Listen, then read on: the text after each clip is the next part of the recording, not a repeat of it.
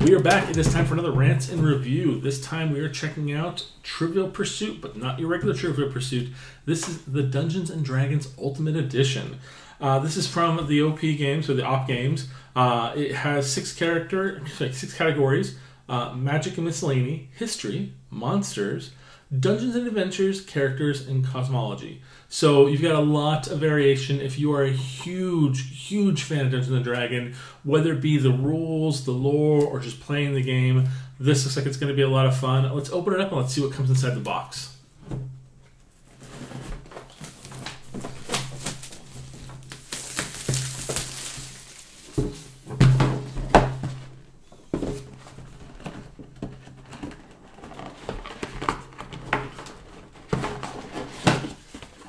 I love the artwork though, by the way. Kind of gives you an idea of the characters you'll be playing with in here. All right, so we have six movers. We have a game board, 300 cards, die, and some wedges. This is just a protective piece, I imagine. These are the cards right here.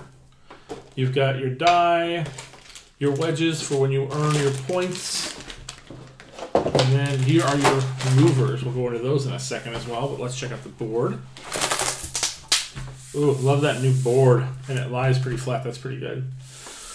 Okay, so your markers indication where you're landing on. Very, uh, like, I want to say, not- maybe dungeon, maybe like uh, tavern style. Very kind of cool. I love that style for that. Um, then we have our actual player pieces. By the way, the wedges go on the board on around the outside of your player piece. And now here we have a mind flayer. Uh, like we have a, a skull. We have a mimic. Oh, that's cool. That's really cool. I love the mimic. Uh, owlbear. Got a gelatinous cube. And we got a beholder. Now, all these are grayscale. I would imagine if you want, uh, as long as you tape down the base, you should be able to paint uh, these miniatures if you want. Uh, that would be kind of cool if you're really into that. But those look super dope. I love the gelatinous cube. I love the mimic the most. If I was playing, I'd want to play as the mimic. Um, but let's look at the cards and let's read out a couple of them and see um, what the game has in store for you.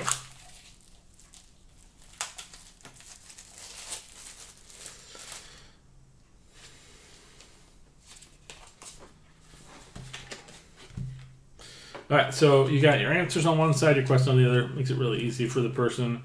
Um, so, a question like this, we'll do. Um, let's do history. Yellow.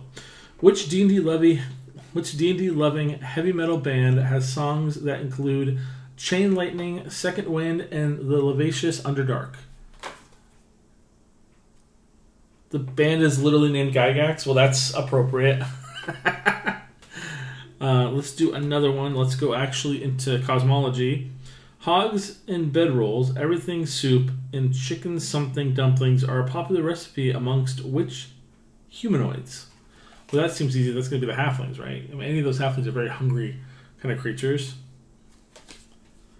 And then let's check out. Um, let's do characters. Which kind of animal does Xanathar, the beholder crime lord of Waterdeep, keep as a pet? a fish. The name of the fish is Sylgar. so these are um, these are tough ones. These are definitely tough ones. I can't imagine all of them are going to be as tough.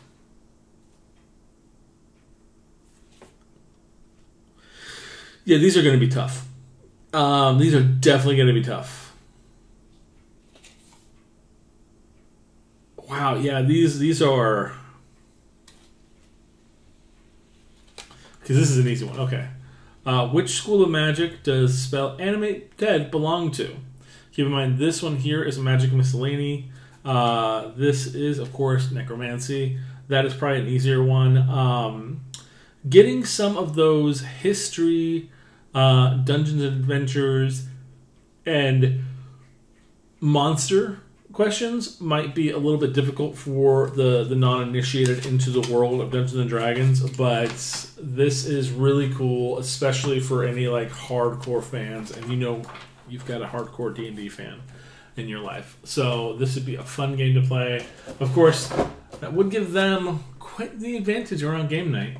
But hopefully this has been helpful. Hopefully you like this. I think it's really awesome and amazing, and we will see you guys next Friday.